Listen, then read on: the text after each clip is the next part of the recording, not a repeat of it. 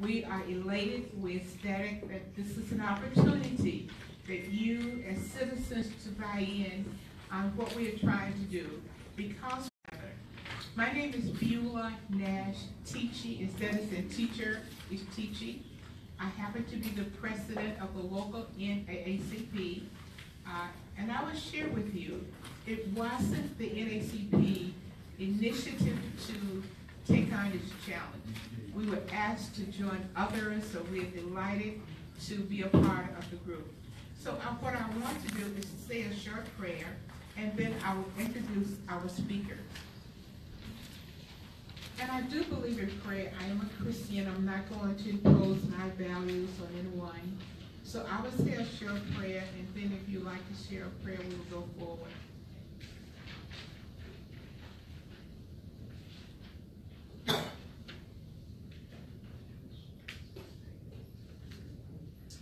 Amen. We have four distinguished panelists. So the process is going to be, they will present their information, and at the end, each speaker is going to speak for about thirty minutes. Am I correct, John? Ten to fifteen. Ten to fifteen minutes. And then there'll be a Q and A. Uh, you have an opportunity to ask questions, and always remember, we all value each other. We have to respect each other. So we may or may not agree, but long as we can disagree in a respectful way and to go forward, I think that's most important fact. And I, I'm going to give a little information about each speaker, and when they come to you, they will give additional information as applicable. Our first speaker on my document is Melissa Magon. Would you raise your hand, Melissa? Melissa is a public historian who is relatively new in the Augusta area. She has a BA from Mercer College and an MA from the University of Florida. Dr. Bobby Donaldson, I would, Dr. Donaldson, raise your hand. He's an associate professor of history at the University of South Carolina and director of its Center for Civil Rights, History, and Research. He is uh, an Augusta native with a BA from Wesley University and a PhD from Emory. Harvey White, would you raise your hand? Is a public historian with a BA from Georgia State and MA from the University of West Georgia. She's a graduate and young professional committee, chair of the National Council for Public History since August of last year, and she has been a proud member of Augusta for a while. Thank you. And Dr. John Hayes, Associate Professor of History at Augusta University, AU. He is an Atlanta native, welcome to Augusta, with a BA from Wake Forest University and an MTS from Duke, Duke Divinity School, excuse me, and a PhD from the University of Georgia. Ladies and gentlemen, these are our panelists. Now, who would be first? Thank you.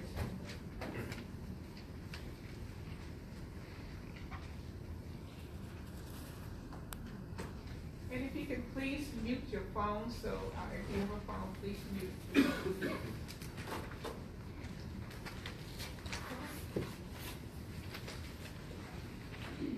So my name is Alyssa Magnan, um, first speaker today. I'm going to give you a brief introduction to the Ladies Memorial Association, um, and that's the group who was responsible for the creation of the Augusta Monument and many of the monuments um, that are in the United States. And then a quick look at the physical monument itself in order to highlight some of its details for those of you who may not be familiar with it. So the Ladies Memorial Association was a women's organization that formed chapters throughout, throughout the South uh, immediately following the Civil War. Um, they were most active as an organization from around 1865 to 1900, and it was estimated that between 70 and 100 chapters were established throughout the South during this time.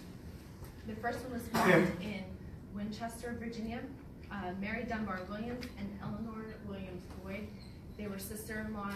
They were concerned about the number of Confederate dead. Closer to the microphone, please, ma'am, it's Yes. hard to hear. Or I could break it. Is that better? No? Not really, no. Did she bring the portable mic? She needed batteries for the portable mic. Can you take the mic off the,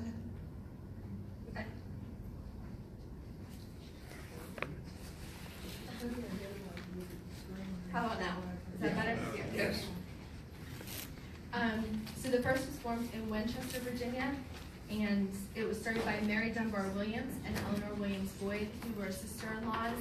Uh, they were concerned because they saw a lot of Confederate dead unburied or buried in quick, shallow graves um, on the battlefields throughout the town and the surrounding area. So they called a town meeting uh, with the town's wealthier white women, and at this first meeting, um, they agreed to organize a memorial society specifically to rebury the Confederate dead. And this was formed out of the need, you have to remember, this is the first time that death was experienced on such a large and massive scale in the United States for both the North and the South. And so, um, people had to shift their mourning process and their mourning traditions. It became a very public display of loss and grief as opposed to what had happened before, which was a very private and personal one. So that this society formed out of that need as well. And so they agreed to organize and give the Confederate dead proper, proper burials in one central cemetery.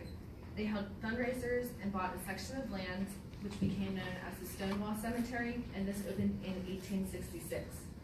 They also agreed that they would place flowers in the graves annually and um, upkeep the graves. So they had two main goals every chapter in LMA was in the first one, bury or rebury the Confederate dead, and then the second one was to create monuments in their honor. They hoped that the Confederate cemeteries and monuments would be physical reminders of the Confederate lost cause for future generations of the South. And they didn't just uh, create the cemeteries and move on. They also had celebrations, which were referred to as Memorial Days, and these were specifically to celebrate the, the Confederate dead and the cause. Um, hundreds, if not thousands, of citizens would attend these celebrations, and at this time they would decorate graves. There would be prayer. Um, people would participate in song, and there would be speeches, things like that. It would be the whole community gathering and participating in these in these Memorial Days. So the Augusta Ladies Memorial Association, as early as 1866, immediately following the war, there was a call for a formation of, of a group who could take care of Confederate graves in and around the Augusta area. Um, individual groups and different pockets of Augusta women answered this call, and it wasn't until too late, two years later in 1868 that an official chapter of LMA um, was formed here in Augusta, and they formed out of the Ladies Hospital and Relief Association, which formed during during the Civil War. Mrs. John Carter was president, and Mrs. H. H. Steiner was the vice president. And their first act was to acquire a special sec section of the cemetery, and they commissioned uniform headstones for all of the graves. They were also interested from the very start in creating a monument, but it was originally intended to be placed within the cemetery walls with all of the all of all of Augusta's Confederate dead listed on the monument. Um, in 1873, after the death of both the president and the vice president of, of LMA, the organization had to reorganize.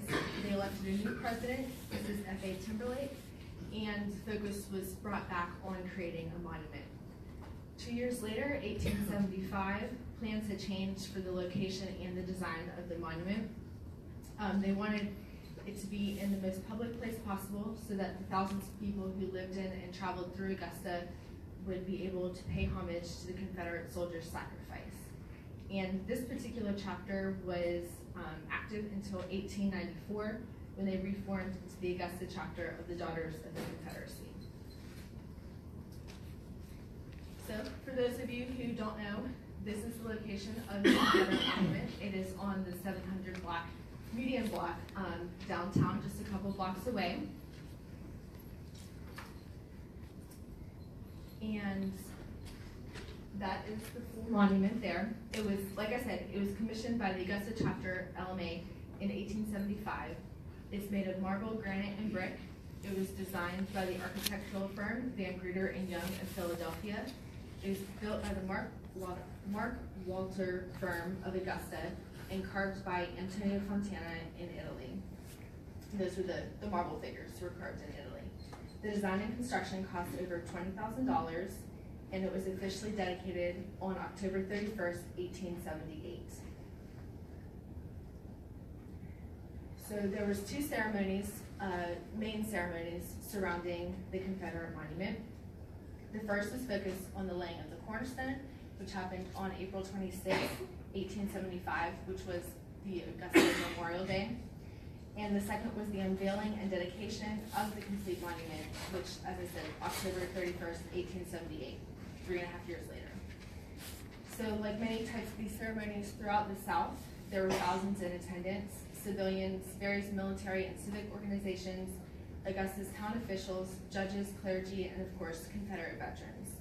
And they were very, it was very similar to a regular Memorial Day celebration. There were speeches, prayers, music, and a large procession throughout town. And so now I'm just going to go around the monument and um, show everybody what is on the monument and who the figures are, just briefly. So this is the inscription on the east side or the front side of the monument. It says our Confederate dead. Next, we have the west or the back side, and it says erected AD 1878 by the Ladies Memorial Association of Augusta in honor of the men of Richmond County who died in the cause of the Confederate States.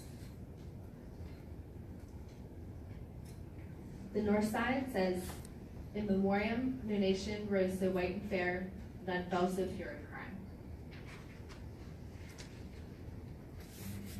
The inscription on the south side says, worthy to have lived and known our gratitude, worthy to be hallowed and held in tender remembrance, worthy, worthy the fadeless fame which Confederate soldiers won who gave themselves in life and death for us. For the honor of Georgia, for the rights of the states, for the liberties of the people, for the sentiments of the South, for the principles of the Union as these were handed down to them by the fathers of our common country.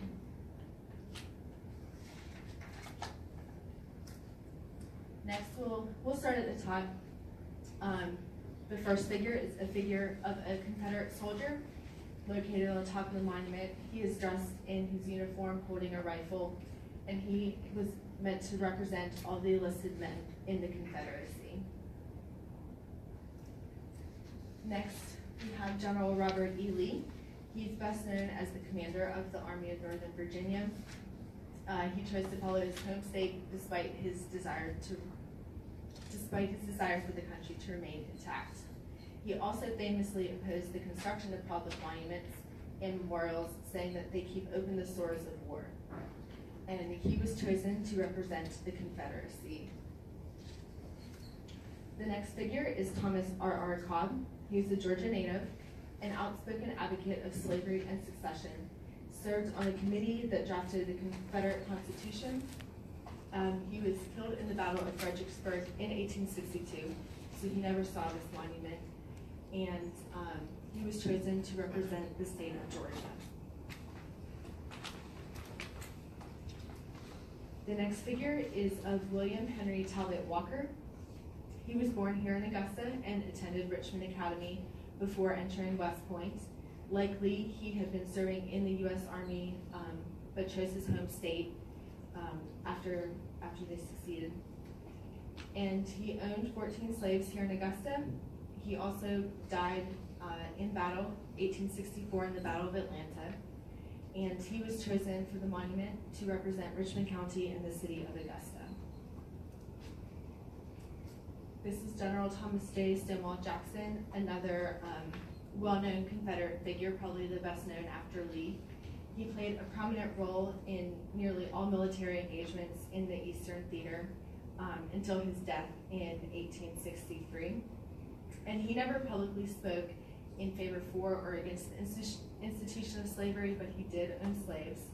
And likely he was chosen to represent the Confederacy as a whole on this monument. And then around in between each figure on the corners, um, the first one we have here, it's Deo Vindice, which uh, is Latin, it means with God our defender, and that was the national motto of the Confederate States. Words, the words are within a band. Um, I'm, I, well, you can see it there within, within a band, and then there's a flag. Um, there's guns on either side with a drum and cannonballs in between, and beneath this is a trumpet. All symbols of, of the army. Next here we have more symbols. Uh, laurel leaves, a symbol of honor, flanked by two flags with cross rifles and cannons. Next, the relief um, inscribed with the word Constitution in an arch over three columns. Each column has a woman standing on it, and on the right side of this scene, you can't it's you can't really see it that well, um, but there's a soldier, and then on the left side there is a farm field workers, and then the very last uh, relief is of two intertwined flags and a crossed gun and a sword. So that is, that's all I have. So that's a quick rundown of, of the monument, a little bit of its history, um, and the rest of the speakers will get more in depth.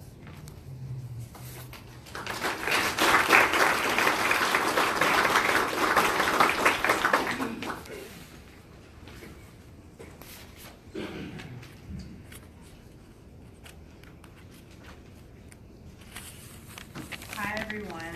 Um, like Ms. Beulah said, my name is Harvey White. Um, I have been um, in Augusta just since August, so not even year yet, um, but I, I love the city. It's been a fun, fun few months here. Um, I will be delving into the, um, a brief, a brief explanation of what we call the lost cause. Um, I think that it's important to kind of talk about the lost cause whenever you're talking about um, the Confederacy and Confederate symbolism. In general, this is something that will come up in that in that dialogue and that discussion. Um, basically, um, in short, what the lost cause is um, is Confederate memory that was formed um, after the war, and really even during during the war, they started to form these ideas, but mainly after the war.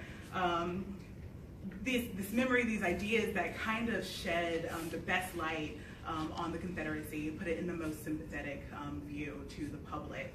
Um, why did they have to do that? Um, well, during the Civil War, um, roughly 620 people lost their lives as a result of it. And I've seen, that's kind of lowballing it. I've seen those numbers kind of um, go from 670,000 to even 700,000. 600 I'm sorry? You said six twenty by accident. Oh, I'm sorry. Yes, six hundred twenty thousand. Um, thank you. Um, I've seen those numbers um, anywhere from that to um, seven hundred thousand even. Um, so it's very bloody, very bloody war with a high death toll. Um, so at the war's end, um, everyone in the South um, they had to find a way to justify their loss um, to to their children, to their grandchildren, to themselves, and even to God. Um, you know, why would He let us um, lose this war that we entered? Um, and so the lost cause was born out of that as a justification to all of these to all of these different entities. Um, and um, they had to they had to grapple with um, with how they lost, and so it became though we lost technically, we didn't lose morally. So white Southern writers and artists and veterans, um, women's associations and political leaders of the 19th and early 20th centuries, um, yeah, they thought to justify the the, the, um, the Civil War as a moral victory. Um, they had God on their side, and um, justification um, for slavery came from the Bible. There are a few basic tenets of the Lost Cause. Um, the first one, um, maybe the one that people hear most often, is that it was states' rights and not slavery that were the main cause um, of the Civil War. Um, now, if you read any um, of the secession papers or speeches like that, slavery is always mentioned. Um, I can read a few of them for you. Um, the, Texas, the Texas Declaration um, for Secession, written on February 2nd of 1861, stated, we hold as undeniable truths that governments of the various states of the Confederacy itself were established ex exclusively by the white race for themselves and their posterity, that the African race has no agency in their establishment, that they were rightfully held and regarded as inferior and, depend and dependent race, and that in condition only could their existence in the country be rendered beneficial or tolerable. Um, the Mississippi uh, Causes for Secession stated, quote, our position is thoroughly identified with the institution of slavery, the greatest material interest of the world. Um, and I could go on and name some more. South Carolina one um, said a geographical line has been drawn across the Union, and all the states north of that line have united in the election of a man to high office of President of the United States, whose opinions and purposes are hostile to slavery. Um, and that was written in December 20, on December 24th of 1860. Um, some more tenets of the um, of the Civil War, in addition to that slavery was not the cause, was that the enslaved were grateful to their enslavers. Um, and you see that later on in kind of pop culture references like Gone with the Wind um, and Birth of a Nation. You see that kind of myth in the main character of the faithful and loyal slave. Um, the Lost Cause also said that generals and soldiers were heroic and saintly. Think Robert E. Lee, so he was like the main hero of the of the Confederacy and of this Lost Cause narrative. Um, it said that the war was noble and heroic, um, and that white Southern women were loyal and devoted throughout the war, um, even when the Confederacy fell apart. So that goes into um, women's associations being the main ones to construct these monuments, like Alyssa um, went through earlier. Um, so in the 1870s and through the 1920s, Confederate memorial, uh, memorial associations erected more than 1,000 Confederate monuments. Um, so it was a pointed and deliberate effort to control the narrative of the Civil War. Um, uh, the latest memorial associations were mainly active from 1865 to the 1880s, um, and the United Confederate United Daughters of the Confederacy um, were from the 1894 to the mid 20th century. Um, they didn't just erect monuments, um, they also established memorial days. Um, they, they created records of the dead, which honored um, the soldiers who were just. Um, uh, some of these monuments are to faithful slaves and Confederate leaders. They also created essays and quizzes and contests and they also controlled the textbooks. So they had their hand kind of in every pot that they could to control this narrative of the lost cause, um, this myth of the lost cause. Um, the Union uh, did not just sit back, of course, they also pushed back. Um, and they did so in very much the same ways that the Confederacy was doing that as well. So they erected their own monuments, um, had their own memorial days, um, and had their own clubs. So they were doing all the same things. Um, eventually, however, um, the narrative of the lost cause that the Confederacy made, it won out. Um, that reason uh, has to do with reconciliation. So, of course, after after the war, the North and South had to come together to form one nation. They had to reconcile, um, and they tried to do that in, in a, a various ways. Um, both sides agreed that um, their foe was brave, um, of course, that made them look better. If you have a worthy opponent, a brave opponent, it only makes you look braver. Um, so that was one of the things that they did. However, neither side um, said that the other side fought for a noble cause. So, um, though the Union said yes, the Confederacy was brave, they did not say that they were fighting for a noble cause. Um, neither did the Confederacy of the Union. Um, The Confederacy was just more vigilant in their in their cause. They were focused heavily on creating these monuments and creating these organizations, all the while the Union was um, focused more on this reconciliation. So they did things that encouraged nationalism and um, being proud to be a citizen of the United States, um, like encouraging everyone to learn and sing the Star Spangled Banner, um, saying the Pledge of Allegiance, things like that. So that was their main focus. Um, so the Confederacy, that, that narrative of the Lost Cause kind of took over. I will, uh, I know it speaks fast, and I hope you guys got all of that. Um, but I will leave you with a quote. I think um, the Atlanta History Center, um, the History Museum there, has um, a great kind of summary of the lost cause um, that goes as follows. Um, implicit in the lost cause was the belief widely accepted throughout the United States in white racial supremacy. Celebrations of the lost cause often went hand in hand with campaigns to enact laws mandating Jim Crow segregation and disenfranchising African American voters, which also sparked racial violence, including lynching, well into the 20th century. Um, it goes on to say, our understanding of history changes over time. Civil War monuments remain important reminders of how history can be influenced by false ideas and misperceptions. This monument was created to recognize the dedication and sacrifice of Americans who fought to establish the Confederate slave holding republic. Yet, this monument must now remind us that their loss actually meant liberty, justice, and freedom for millions of people, a legacy that continues for all of us today. Um, thank you guys so much.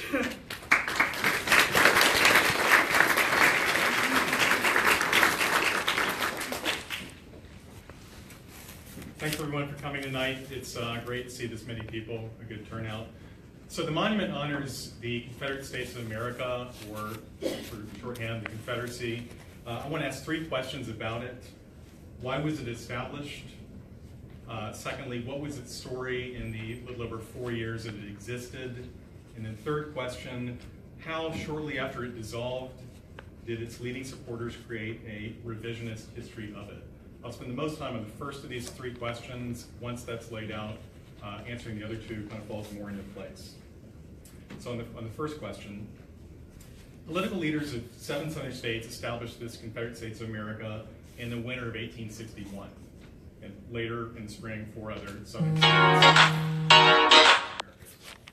This was on the heels of their states leaving the USA. That's, that's the technical term for that is secession or seceding. This is a radical political act, right? It's not exactly every day that states leave the USA, right? Um, what, what, why, why did they engage in this radical political act? Their core belief was that crazy fanatics had taken over the USA. Crazy fanatics had taken over the USA. The, the only thing to do was to actually get out of the USA, right? That's how bad things had gotten. Who were these crazy fanatics? They were a relatively new political party. They were called Republicans. And how had they taken over the USA? They'd won in the November 1860 election. They won the presidency, um, and by that point, both houses of Congress. They'd found majorities of both houses of Congress. Okay. When I was a kid growing up in Atlanta, I did a school report on Abraham Lincoln. I just thought he was a great American. I, it's, it's, so, so why would the election of Abraham Lincoln uh, cause, cause you know, bring about this, this drastic political act of secession? For advocates of secession, the Republican Party was the political form of the abolitionist movement. Okay, so what was the abolitionist movement? It originated around 1830. It was a moral religious movement committed to ending slavery. It viewed slavery as the nation's greatest sin, as inherently cruel and unjust. And for the, by the terms of the abolitionist movement, slavery should be ended today. Right? There, there's no ambiguity on this. What was the Republican Party? It originated in the mid 1850s. In the point of view of the Republican Party, slavery was a backwards labor system. A society could not progress or develop based on such a backwards labor system. The Republicans thought you couldn't touch laws about slavery in states where it already existed, right? But there's a whole half of the USA called the West, where you could actually stop slavery from expanding. So that was the one part policy that all Republicans agreed on. You could actually stop slavery from expanding west. Here's the thing: for advocates of secession, they conflated the two and saw the Republican Party as basically the political form of the abolitionist movement. That, that's not actually accurate in, in, in, real history, right? The abolitionist movement, Republican Party are different. It doesn't matter. Advocates of secession believed they were basically one and the same, or one's a political version of the other. That causes act. That, that's historically meaningful. So to put it all together, they left the USA because they believed that slavery was threatened. And having left the USA, they established a new Confederate States of America where slavery could not be threatened. To take one example, the Vice President of the Confederate States of America, Alexander H. Stephens from Georgia, said famously in a speech in March of 1861 that slavery was the, quote, cornerstone of this new Confederate States of America. You can look at the Confederate Constitution, easily found online. Um, it closely parallels the U.S. Constitution, a lot of its lawyerly language. Article, but there's some key differences. Article 1, Section 9 says, No bill, bill of attainder, ex post facto law, or law denying or impairing the right of property in Negro slaves shall be passed. Property rights in slaves would be protected in this Confederate States of America. You can also look at Article 4, Section 3 of this Confederate Constitution, which explicitly says that slavery as it exists in these southern states, should the Confederate States expand west, the same slave, slavery that exists would have, would have free right to, to go west. I've been talking a lot about, we're talking about these, these political leaders, these advocates of secession. Who exactly were these people? They were the elite slaveholders who dominated Southern politics. They were very wealthy and they were very powerful. Numerically, they were a small elite. The technical term for them is planters. That doesn't mean someone that plants seed in the ground, like a, my vegetable garden, right? Um, but, but a plantation owner. They owned over 20 slaves, usually well over 200 acres, right? Again, numerically small, but a very wealthy and powerful elite. They're the leaders in the secession movement. They're the people that established this Confederate States of America. These planters held power in a society, in a social order with simmering tensions. What does that mean? Tensions between elite and non-elite, between slaveholders and slaves. Let me focus on both those, and then we'll move to the second question. The population of the Confederate States of America was about 9 million, over 9 million. 60% whites, 38.5% slaves, 1.5% free blacks. So African Americans who, through different ways, had, had actually gained their freedom and continued to live in states where slavery was legal. Of the 60% white population, 30% of households or families actually owned slaves. Right? So what about this other 70% of white families, households that didn't own slaves? They were called yeomen or poor whites. So they owned land, if they were yeomen, they were farmers that worked for themselves, or they're poor, poor whites, they didn't even own land. They didn't own slaves, didn't own land either. That's the other sort of majority, 70%. Of the 30% who were actually slave owners, only 12% were actually planters, meaning owning over 20 slaves. Right? So even within the ranks of slave owners, planters are a small elite within that. What about the other 78%?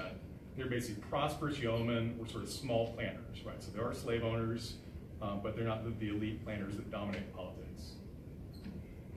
So if you look, think about those statistics, this is a society with huge divisions, right? Elite, non-elite, slaveholding, and slave. How did it hang together? In 1857, a North Carolinian named Hinton Helper published a book on the impending crisis of the South. He was from a yeoman area of North Carolina, and he basically said, it's not going to hold together much longer. Right? There's simmering class, he was interested in class tensions among elite, non-elite whites, the 70%, the 30%, and he believed that, that there, there was such tension that, that the crisis soon had to develop. Right? At the same time, the class tension was diffused in some ways because only white men could vote, only white men could serve on militias and militia duty, right? And, it, and of course, as the society was structured, only no white person could be a slave. What about the, the, the summary between slaveholder and slave? Slave owners publicly bragged that their slaves had never even thought about freedom, that they actually enjoyed their enslavement. So Thomas Cobb, one of the people commemorated on the monument, in his speech urging Georgia, Georgia to secede from the USA in 1860, said, quote, our slaves are the most happy and contented, best fed and best clothed, and best paid laboring population in the world, and I would add also, the most faithful and least feared. Kind of portrait you get in Gone with the Wind. Now, if you look at Southern newspapers, you would find good evidence to undercut that claim. What's the good evidence I'm talking about?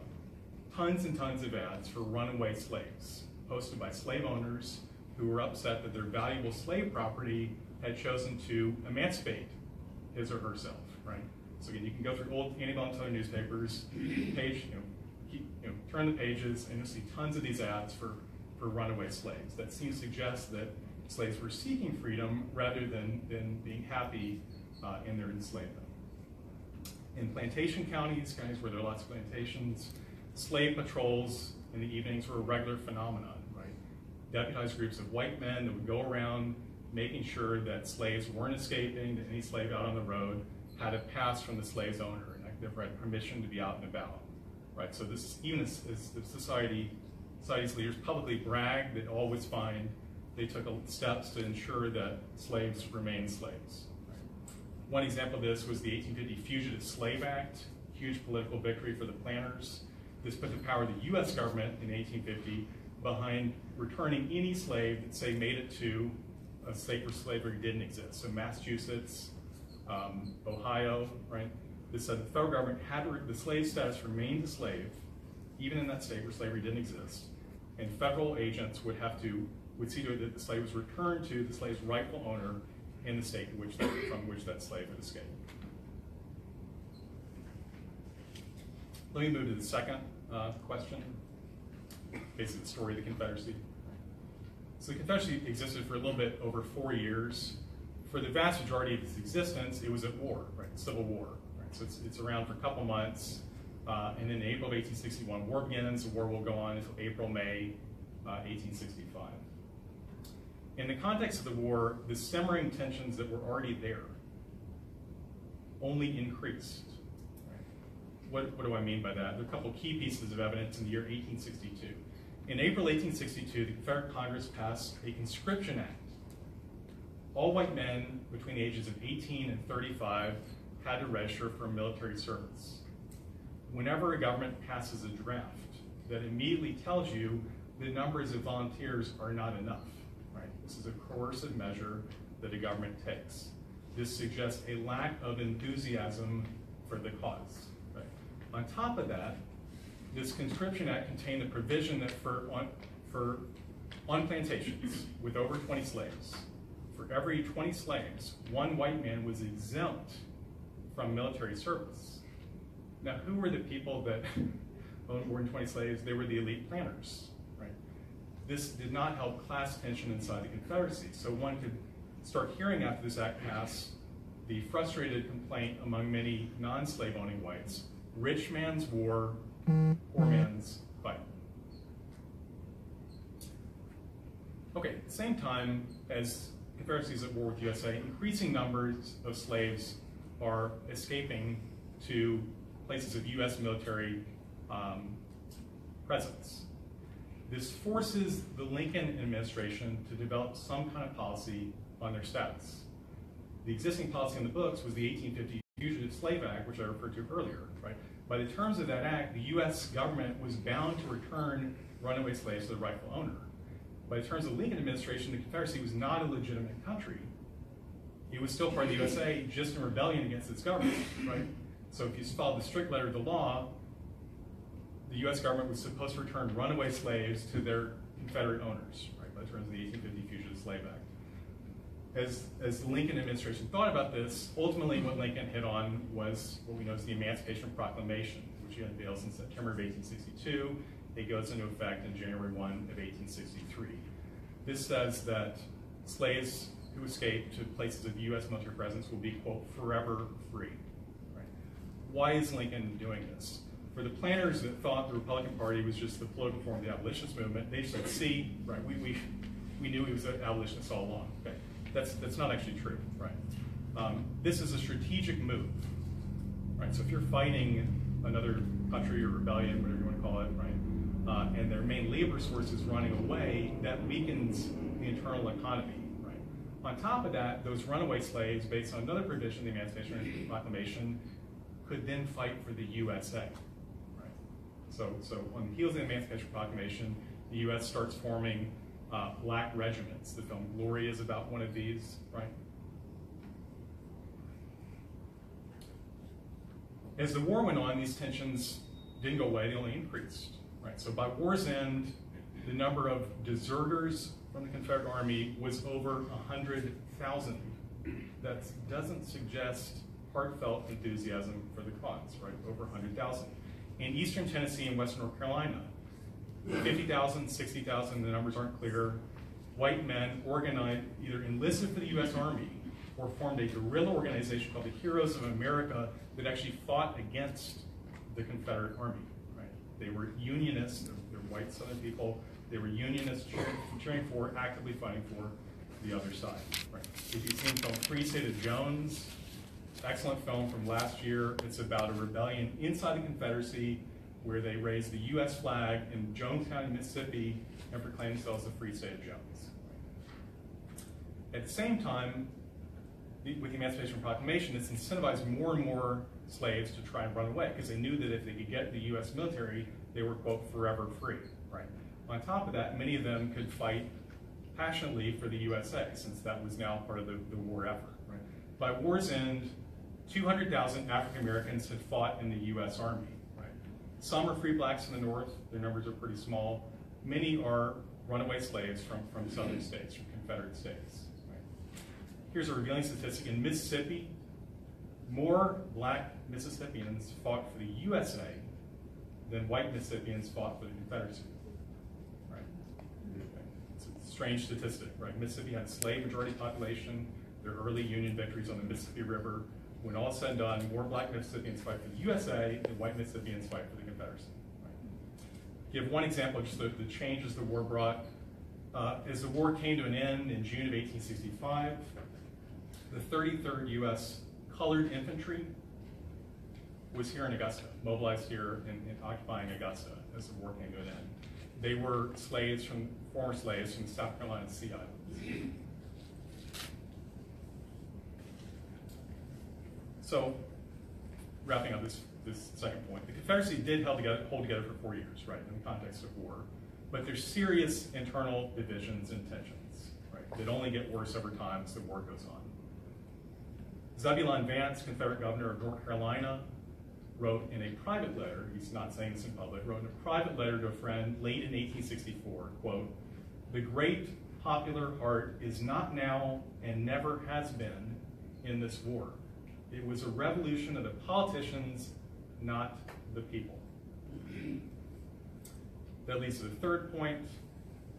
Uh, the Confederacy had barely dissolved before its leading supporters were crafting a revisionist history of it, different from the account I just gave, right? We've heard that in, in uh, Harvey's presentation on the lost cause. The two key things, and this is echoing her, were one, to erase slavery from the conflict.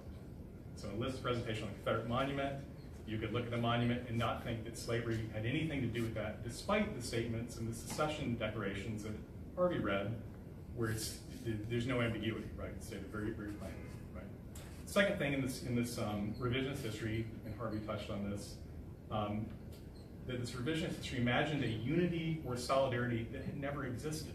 Right? Think about the Zebulon Vance quote I just read, the fact that more black Mississippians fought for the USA than white Mississippians for the Confederacy. The Confederacy was not a unified or, or solidified society, right?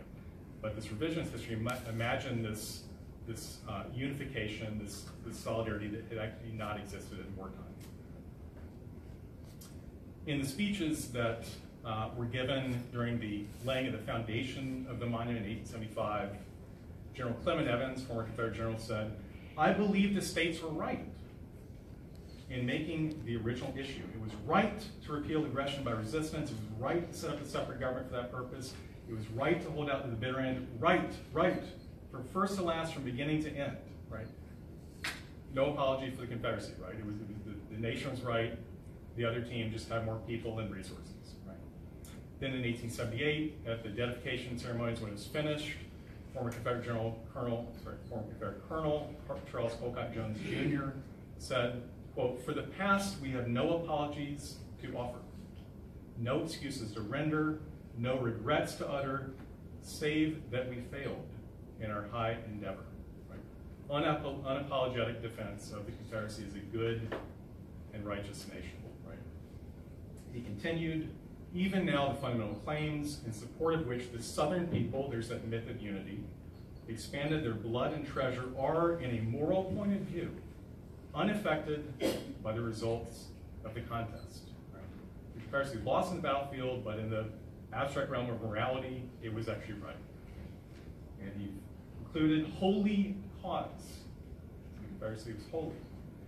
This day we rest from our secular calendar and set apart as a season of hallowed recollections.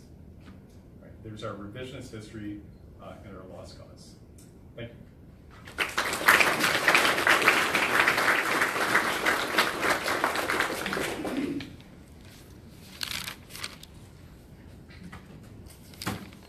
Well, good evening, and thank you very much for the invitation to be here. Uh, I am a native of Augusta, and in some respects, uh, this is a homecoming for me. I live now in Columbia, but my father's family grew up on the corner of 9th and Walton Way, a few blocks from here. Uh, I was among the first students to attend the old Davidson Fine Arts School, an empty lot, a few blocks from where we are. And my very first job that ever I received a salary was in the Augusta Public Library, uh, shelving books in the children's department. Uh, one of those books um, that was in the children's department was a book that I was quite familiar with in my elementary school. Uh, I went to elementary school at W.S. Hornsby, below East Boundary, and there a librarian named Miss Eason regularly taught us about local history in Augusta. And she had on the shelf the same book that I would see later at the Augusta Library, a book called Historic Augusta for Kids.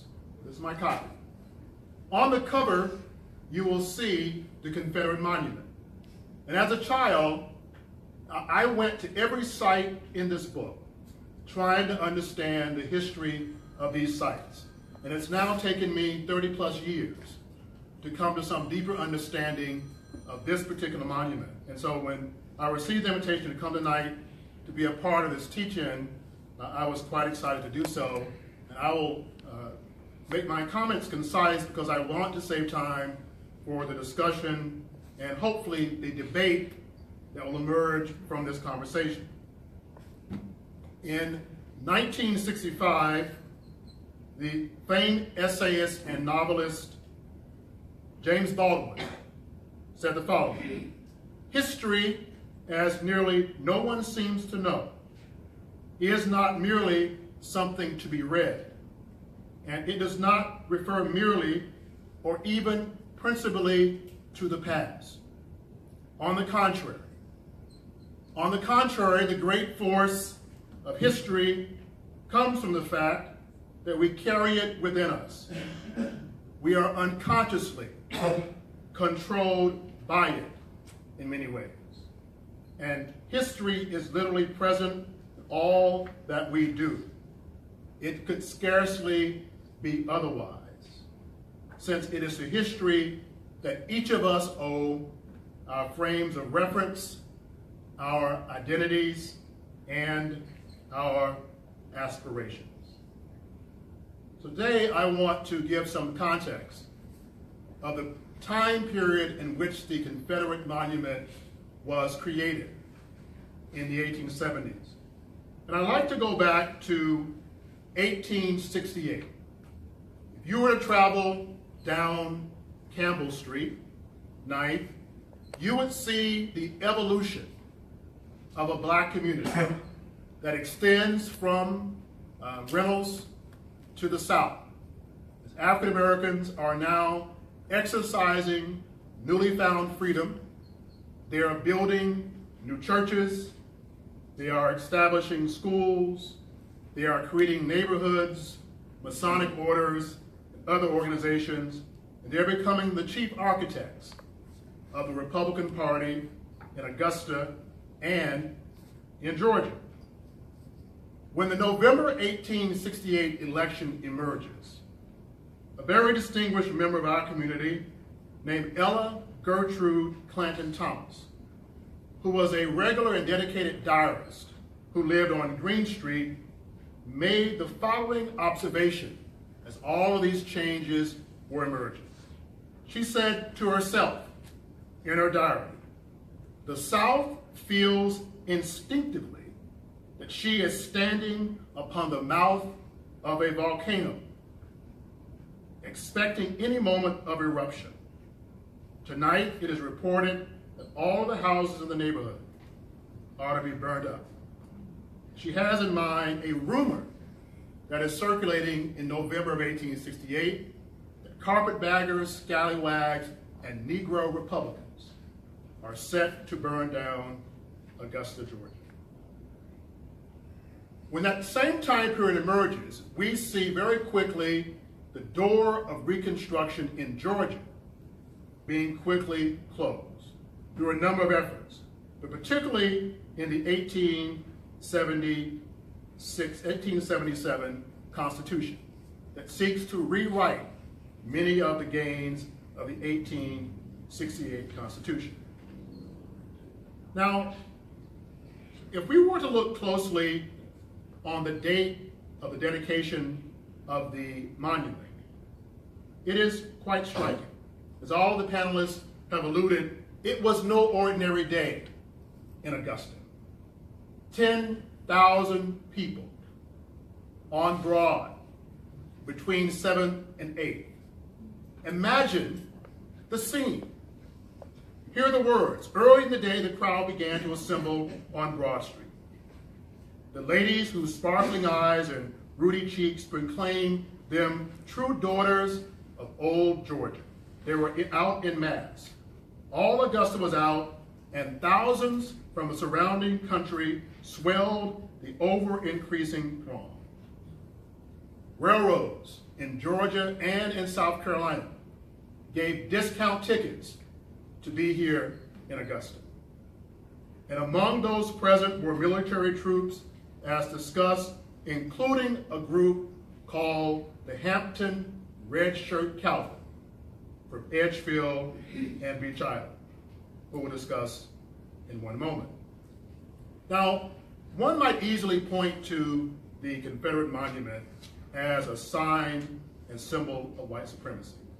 However, if you were to carefully read the dedication speeches, those who spoke were quite careful in how they presented the arguments for the monument. And so my panelists may challenge me, but I've not seen anything explicit that speaks to the monument as a symbol of white supremacy. However, I have found a number of references that are quite implicit in making this case. Consider the prayer of the Reverend C.C. Williams, who described the monument as a memorial of our, as an everlasting memorial of our grateful, I'm sorry, of our Confederate dead. And then he says this, Dear Lord, guard it, we beseech thee, from all powers of the air, that no blast of lightning may come nigh to it, and no fury of storm to cast it down. If the noise of war and tumult or sedition be heard again in our land, and the wild passions of men shall surge and swell through now these peaceful streets, grant that as the flaming sword of cherubims turn, grant that this monument may stand here as a sign and a witness to all generations. Now, if you were to look closely at those who are recognized and honored on the Confederate monument, I think it begs further discussion and scrutiny. As was mentioned, there are four figures referenced specifically, and one on the top, the unknown, we now know as Berry Benson. Stonewall Jackson, Robert E. Lee, William H.T. Walker, who was buried on the campus of Augusta University, and this other figure, T.R.R. Cobb. Now, in one of my assignments with my students, to kind of make history more interesting, I give them a writing assignment and I invite them to engage in a debate with a historic figure, or write a letter to an edit- editor about a historic figure. And I so wish that this professor could have a debate with T.R.R. Cobb, who is prominently featured on the monument. Now, as a kid, looking at that monument in this image, he was just a figure in stone. But Thomas Cobb was probably the strongest and most vociferous, most compelling defender of slavery as a legal, as a legally, morally, and religiously justified institution. He published several volumes, one entitled An Inquiry into the Law of Negro Slavery, and another entitled Historical Sketch of Slavery. And many of the sentiments and claims of Thomas Carr are used decades later to justify the demise of Reconstruction and the continued subjugation and segregation of black people. These are his words, the words of the stone figure on the monument on Broad Street. This inquiry into the physical, mental, and moral development of the Negro race seems to point them clearly as peculiarly fit for a laborious class. Their physical frame is capable of great and long continued exertion. Their mental capacity renders them incapable of successful self-development and yet adapts them for the direction of the wiser race. Their moral character renders them happy, peaceful, contented, and cheerful in a status that would break the spirit and destroy the energies of the Caucasian or the Native American. In mental and moral development, slavery, so far from retorting, has advanced the Negro race.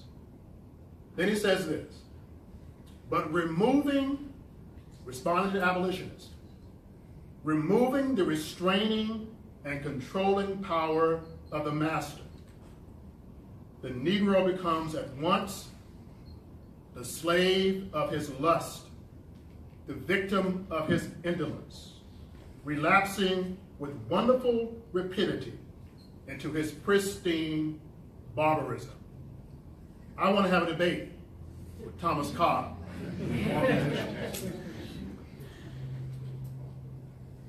Similarly, I would welcome a debate with the keynote speaker that day, a distinguished lawyer and a historian, C.C. Jones Jr.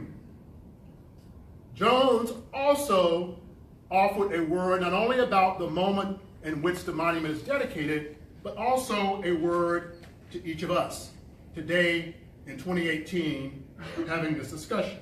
He says the following, while the cause with which we now emblazon belongs to history, while the bright examples of the virtuous dead who perished in its support will be emulated by men of other ages, and while their good deeds will be treasured as the heritage of many generations. This is 1878. Monuments are connecting links between the present and the past. They symbolize the nobleness which has gone before and betoken a happy recognition of them by those who come after. By betraying the images of the great, they keep ever before our eyes deathless examples. They, they look, the looks and thoughts of sympathy begotten by their heroic presence give birth to heroism. Within the charmed sphere of their influence, the living learn to value and to imitate the true, the beautiful, and the sublime. 1878. Now, in C.C. Jones's History of Augusta, there is little reference at all to Reconstruction.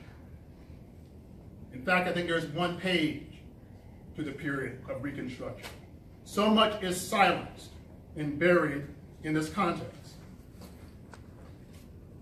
In 1875, three years before the monument is dedicated, there is a convention of colored citizens here in Augusta, and they meet to respond to the eager efforts to cripple Reconstruction.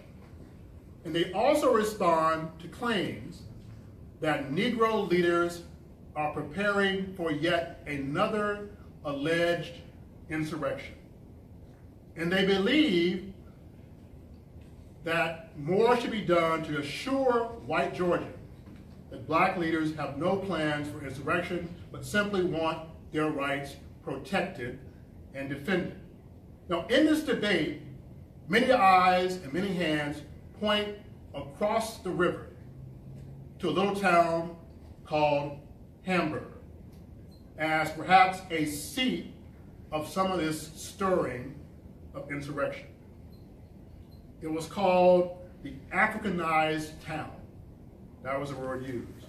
A community now under black leadership led by a man named Prince Rivers, who they believe was directing a general massacre against whites.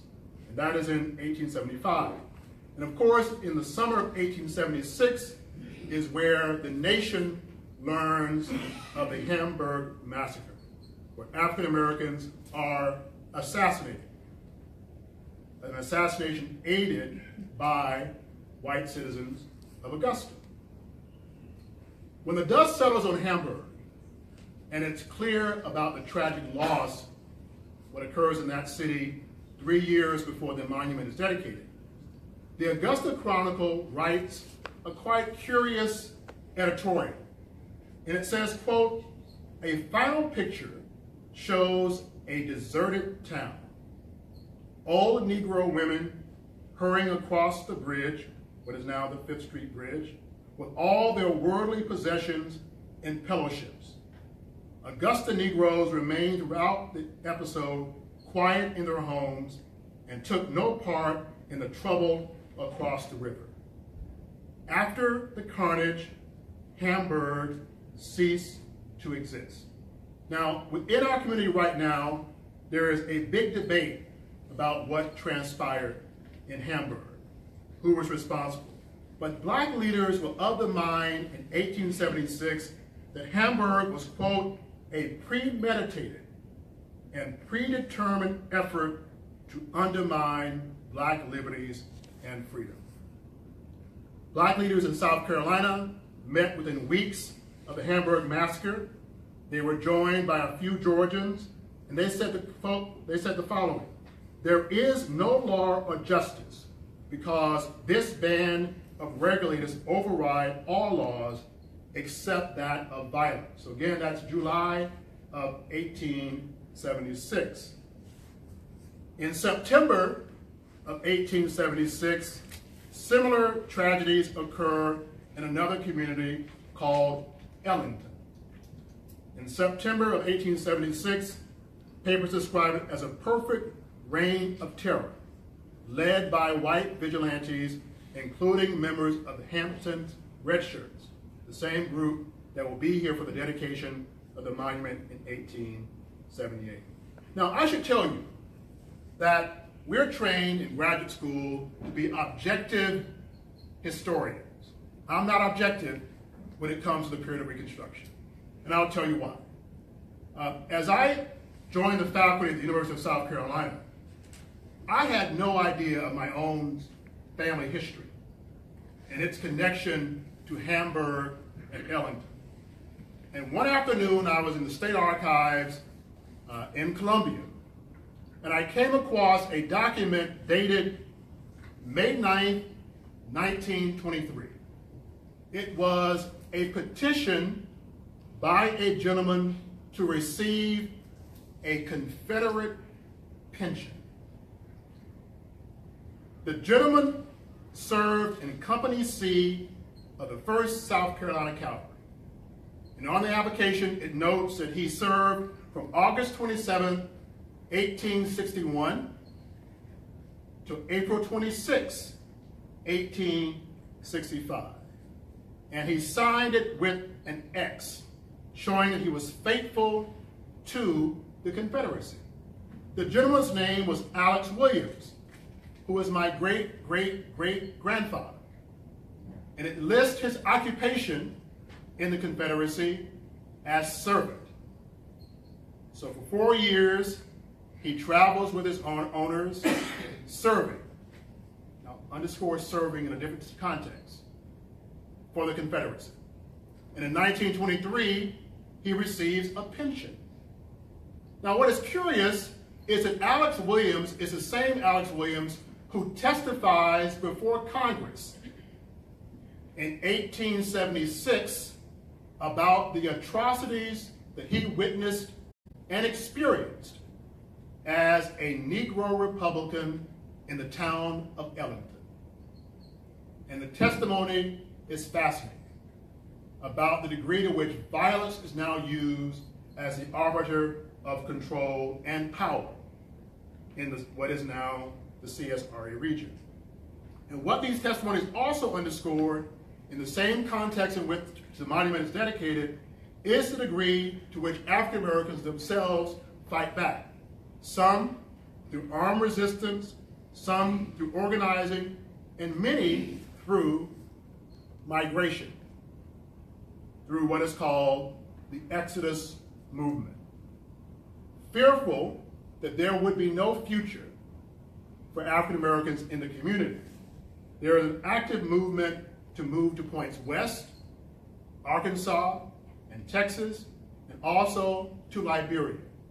And a significant cohort of black Augusta citizens in the 1870s, fearful of their own future, leave and move to West Africa. That is a fascinating debate and discussion. One gentleman who writes from Augusta in October of 1877, one year before the marker is the monument is dedicated, says the following. The colored people of Augusta are tired of the constant struggle for life and liberty and prefer going where there are no such obstacles as now confront and keep them down, and where they can secure for themselves and posterity a free, independent, and national existence. That's 1877. Now, to show why this monument rightly deserves critique and scrutiny, I want to end with an observation by a gentleman who took note of this monument when he came to Augusta in March of 1888. The entire city was fully aware that he was on his way. African American members of a group called the Sumner Literary Society, named for the radical Republican Charles Sumner, invite this gentleman to Augusta. The Augusta Chronicle talked about his coming and the fear of what he might say. The gentleman's name was Frederick Douglass. And he comes to Augusta in March of 1888, and he is here on a tour. And his, his explicit goal is to provide a summary of what has transpired in the Deep South from the period of emancipation until the late 1880s. And what he reports was quite depressing. These are his words. The people are only nominally free. He described emancipation as a stupendous fraud. And he characterized African Americans in Georgia and South Carolina as, quote, a deserted, swindled, and outcast people. In law, they are free, but in fact, they're still slaves. then he says the following I have a duty to perform, and that duty is to tell the truth, the whole truth, and nothing but the truth. While the nation may forget, it may shut its eyes to the past. It may frown upon any of those who may do otherwise. But the colored people of America are bound to keep fresh a memory of the past, keep it alive till justice shall be done in the present. Thank you very much.